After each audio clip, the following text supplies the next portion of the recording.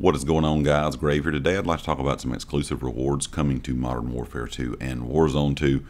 Sadly, these rewards will only be available on PlayStation as of right now. As you know, if you've been around the channel for a while, I'm not a fan of exclusive rewards. One day I'm hoping this is going to be completely gone from all games. That way everyone can get the same content at the same time no matter the platform that you play on. But there will be a Oni Operator Pack available on November the 16th for people with PlayStation Plus. So if you're a PlayStation Plus subscriber, when Season 1 of Warzone 2 and Modern Warfare 2 begin on November the 16th, you will purchase or get this pack for free. In order to get the combat pack, simply head over to the PlayStation Store or in-game stores for Warzone 2 and Modern Warfare 2 and search for the Season 1 combat pack. Once found, just download it, fire up the game, and of course your new cosmetics will be available. Now this pack will have a few things for Oni available.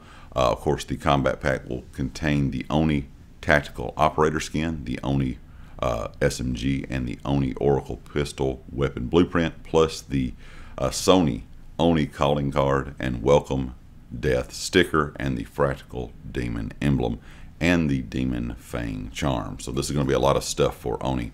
But overall, like I said, I know a lot of people on PlayStation will be excited to be able to get their hands on this.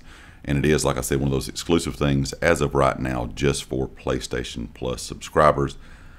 I really, like I said, really wish that all games would get rid of this kind of thing where, where they're giving out specific stuff to specific uh, platforms.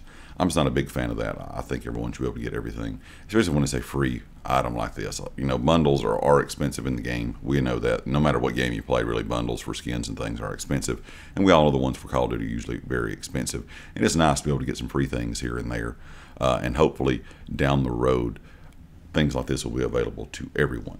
Anyway, guys, let me comment with your thoughts if you're on PlayStation or you're looking forward to this. And if you're on Xbox and PC, kind of how do you feel about these you know, exclusive things still being in game. Of course, if you like the video, hit the like. If you have not subscribed yet, please do so, and I'll catch you next time. Peace.